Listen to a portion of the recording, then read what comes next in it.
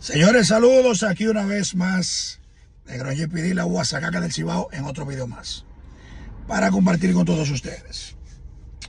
Vamos a hablar un poquito de pelota. Señores, la noche de ayer ya no es noticia nueva.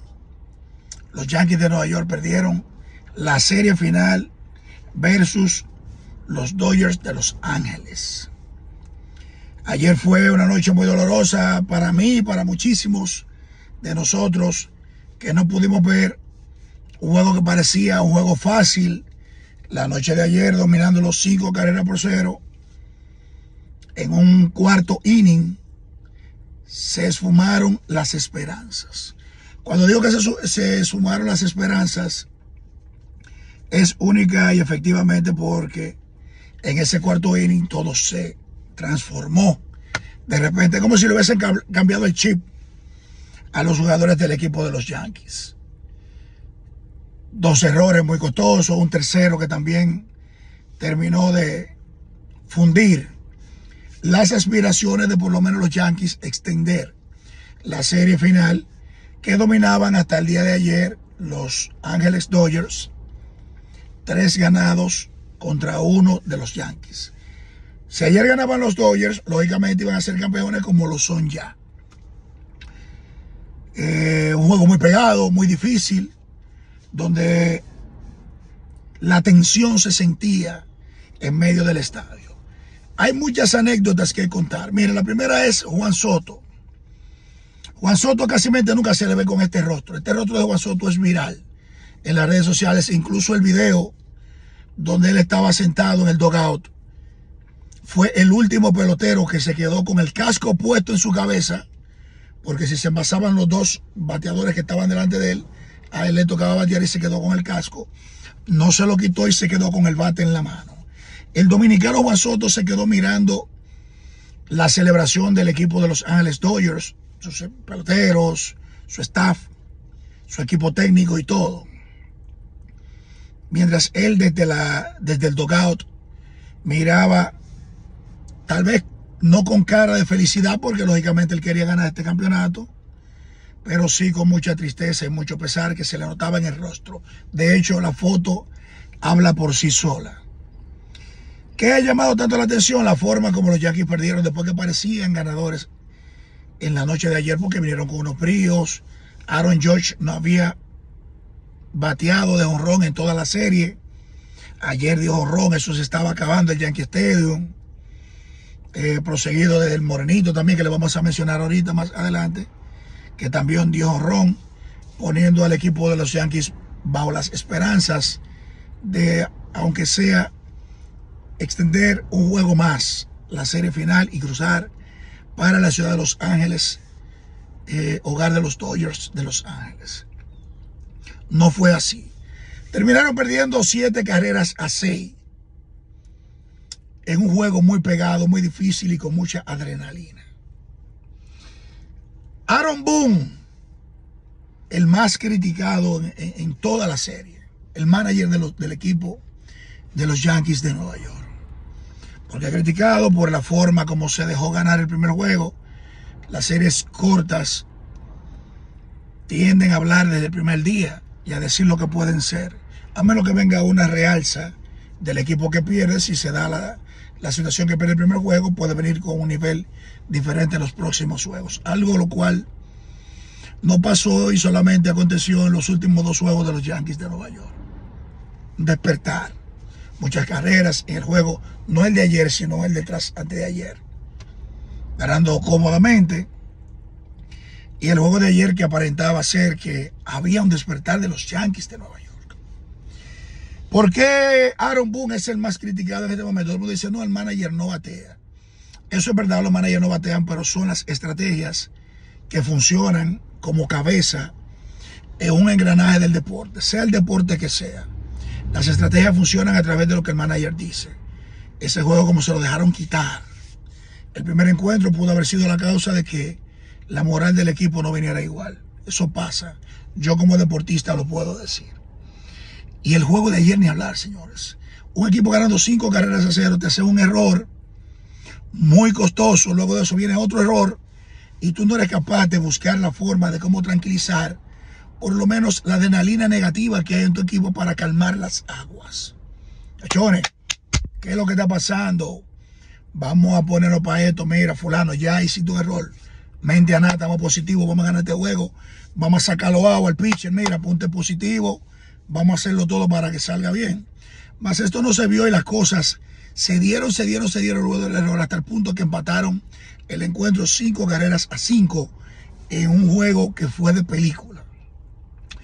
Pasado él, hay muchas anécdotas también que se dieron porque todo el mundo va a decir, no, ahora están buscando excusas. No, aquí, aquí no hay que buscar excusas. De los dos equipos, el mejor equipo era el de los Dodgers.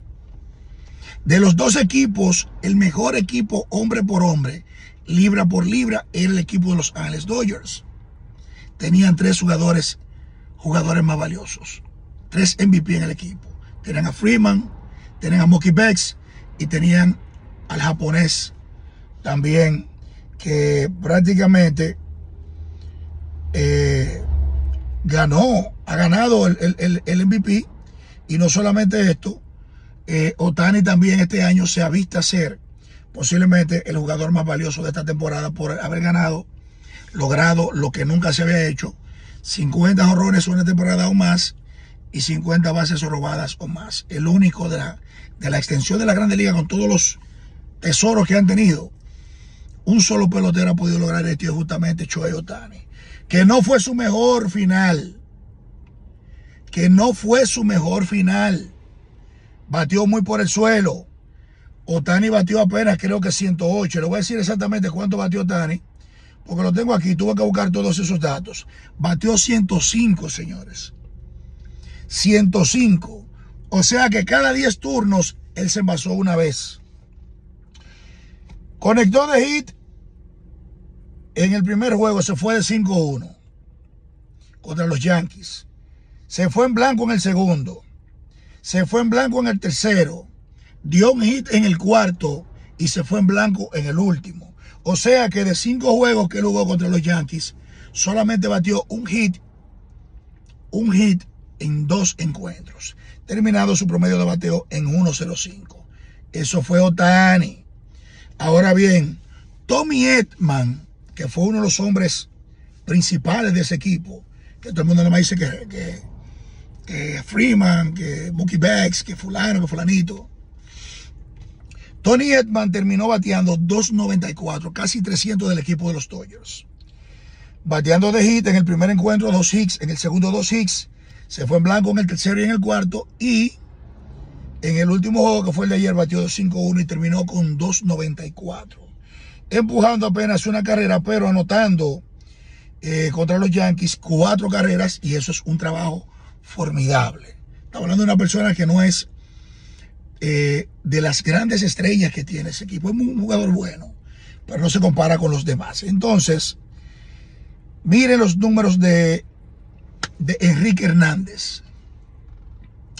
Enrique Hernández, el boricua, batió 2.78, batió de Hicks en el primer juego, se fue en blanco en el segundo, dio dos en el tercero, se fue en blanco en el cuarto, pero pegó dos hits en el día de ayer y anotó dos veces. Terminó anotando tres carreras en la serie y empujando solamente una carrera contra los Yankees de Nueva York. Un jugador también. Ustedes dicen, no es eh, de los grandes principales, pero es un jugador bueno. Tremendos números. Teócar Hernández, la gran sorpresa para muchas personas. Sí, porque hay peloteros de la talla de Mookie Becks, de Freeman, de Otani. Y Teóscar fue quien mejor promedio tuvo en esa serie final. El dominicano batió 350 de promedio, unos números abismales. Batió de hit en todos los encuentros que se enfrentó versus los Yankees. Dio de hit en todos los juegos. En el primer encuentro batió de 4-1. En el segundo se fue de 4-2. En el tercero dio un hit en cuatro turnos. En el cuarto, un hit en cuatro turnos. Y en el día de ayer dio dos hits en cuatro turnos, terminando con un promedio de 350 en esa final contra los Yankees. Empujando cuatro carreras, anotando solamente uno. Unos números muy buenos. Usted puede pensar, pero al tipo le fue bien. Mookie Betts, señores, batió para 278, números que no son malos. Empujó cuatro carreras contra los Yankees, anotó cuatro veces contra los Yankees también. Solamente se fue en blanco en un solo encuentro, que fue en el primer encuentro, luego de ahí dio dos y en el segundo, y uno per se en los juegos correspondientes. Números por encima. Y yo voy a llegar para los Yankees, señores. Freddie Freeman, señores, batió de Hicks en todos los juegos que jugó contra los Yankees. Conectó de hits y también honrón en el primer encuentro, que fue el que puso al equipo delante. Fue quien le hizo el daño a los Yankees para ganar el encuentro. Batió de 5-2 en el primero, batió de 4-1 en el segundo, de 3-1 en el tercero, de 4-1 en el cuarto y de 4-1 en el quinto. Ahora, las carreras empujadas que este hombre empujó. Este hombre fue una bestia. Empujó 5, 7, 8, 8 y 4, 12 carreras empujadas. Se puede decir que fue el verdugo contra los Yankees, Freddie Freeman. Y anotó cinco veces también. Eh, este hombre acabó. Y batió para 300. Eh, no tengo la seguridad, pero yo imaginaba que este hombre tiene que ser el MVP en el día de hoy porque no había nadie que le comparara los números. Este hombre tenía todo lo positivo para ser el MVP eh, de ganar el campeonato de ayer. Creo que fue el que se lo dieron ayer. No lo pude ver porque ya después que pasó el juego me desmotivé. Ahora vamos por los Yankees, señores. El primer bate, Gleyber Torres. Increíble, señores. Gleyber Torres no se envasaba casi para el equipo de, eh, de los Yankees. Solamente en el primer juego batió de 5-2, le fue muy bien. No empujó carreras, no anotó carreras. En el segundo juego se fue en blanco de 3-0. En el tercer juego se fue en blanco de 3-0. En el cuarto juego creo que fue ahí que conectó un jonrón. Batió de 5-1, dio un hit, empujó tres carreras y anotó una. Y en el día de ayer se fue en blanco. Ustedes pueden ver que Soto tuvo una densa en la empujadera de carreras y es justamente porque no encontraba a Gleber casi envasado. Gleber no se estaba envasando. Terminó con un anímico promedio de bateo de 143, un primer bate de un equipo que está supuesto por lo menos a llegar a la base, aunque sea por base por bolas. Sea, Gleber solamente batió y fue el honrón que dio en el segundo juego. Y en el primero que dio dos hits pero después se desapareció horroríficamente. Juan Soto, el único pelotero de los Yankees que batió para 300. Por encima del promedio de 300, 313. Batió Hicks en todos los juegos que se enfrentó contra los Dodgers. O sea que también acabó con el equipo de los Dodgers. Batió un Hicks en tres turnos en el primero. Anotó una carrera. Batió dos Hicks en cuatro turnos en el segundo juego anotó dos carreras y empujó una. Luego de ahí se fue en blanco en el tercer juego. Luego de ahí dio un hit en cuatro turnos en el siguiente. Y ayer se fue de 2-1 con dos anotadas y con la mente puesta en ganar el encuentro, señores. Qué difícil. 313 de promedio. Tenía números de haber la Yankees por lo menos tratado de haber ganado la, la, la Serie Mundial, que estaba difícil. Podía tener números para un MVP. Posiblemente porque fue el que más batió del equipo. Aaron Josh, la sorpresa de esta final. haciendo el recuento completamente para que la gente sepa. Aaron Josh dio un hit en el primer juego bateando en cinco turnos. Se fue en blanco en el segundo de 4-0. Se fue en blanco en el tercero de 3-0.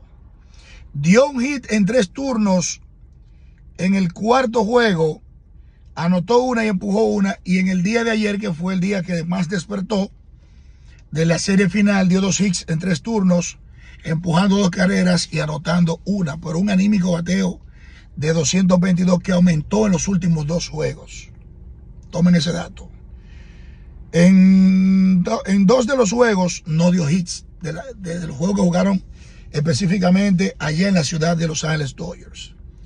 El jugador principal y a ese que todo el mundo lo ha estado atacando hasta el día de ayer, que por lo menos pudo conectar un jorrón y le fue bien ayer. De verdad que sí. Jazz Kishore Jr. es el morenito que estaba con los Yankees, puesto de cuarto bate.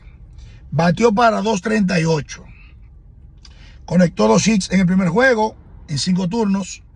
conectó uno en cuatro turnos en el siguiente, se fue